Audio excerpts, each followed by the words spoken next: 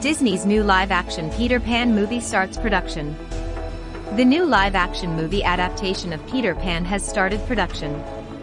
The Disney film is titled Peter Pan and Wendy and will star Jude Law as Captain Hook. The movie is directed by David Lowery, who previously helmed the Disney film Pete's Dragon, as well as the upcoming dark fantasy film The Green Knight.